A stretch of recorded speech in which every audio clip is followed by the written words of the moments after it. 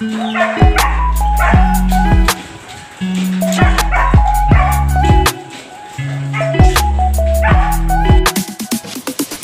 you calling baby, baby?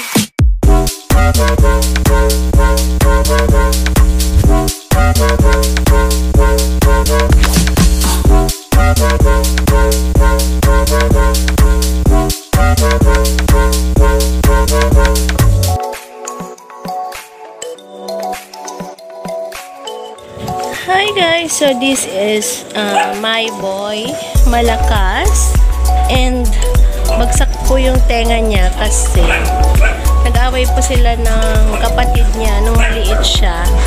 Ito. Nag-away po silang dalawa kaya yung tenga niya is may infection. Ayan, kinagat kasi yung tenga niya. Ayan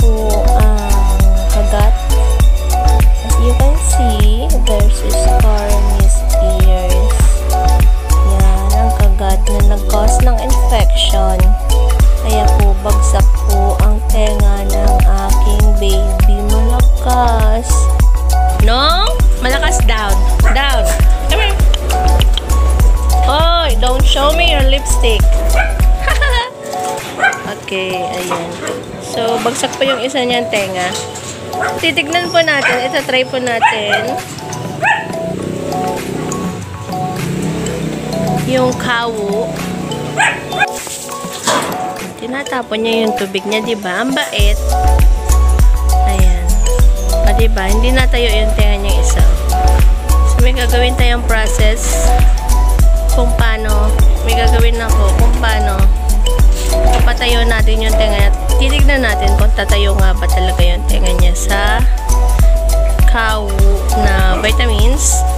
Ayan. Tignan mo naman, oh. Ang salbahe. Tapos, pag wala ng tubig, tatahol manghihingi ng tubig.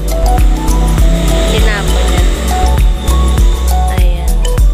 Ayan, so ito yung kawo namin na guys na in-order sa Lazada para sa calcium para tumayo yung tenga ng ano namin Belgian ayan so tatry natin to so ito mabentang mabenta to sa Lazada guys nagkakaubusan ano out of stock to lagi buti nakakuha pa ako ng isa ayan Ayan guys, so ito na yung pinatuyo nating ano, dahon. So hindi siya patutuyuin sa araw guys.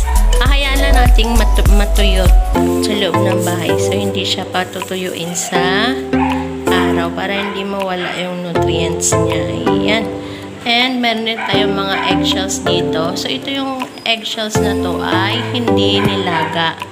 So gagawin natin yung powder. Ayan. So hindi po ito nilagang shell. Ito yung shell na galing sa pagpiprito ng itlog. So, after magprito, ayan, tinatabi ko sila kasi gagamitin nga. And ito ay ibe-blender natin dito.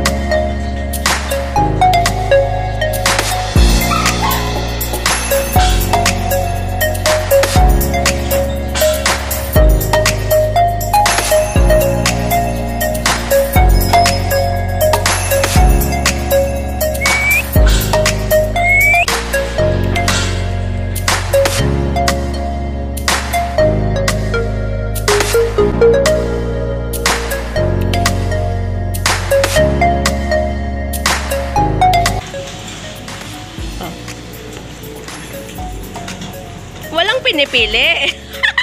Walang pinipili. Walang pinipili yan oh. Ikaw naman. Ikaw nga, kung kakainin mo lang to ng buo, be. Ah, tignan natin. Ah. Oh. Walang pinipili, kinakain lahat.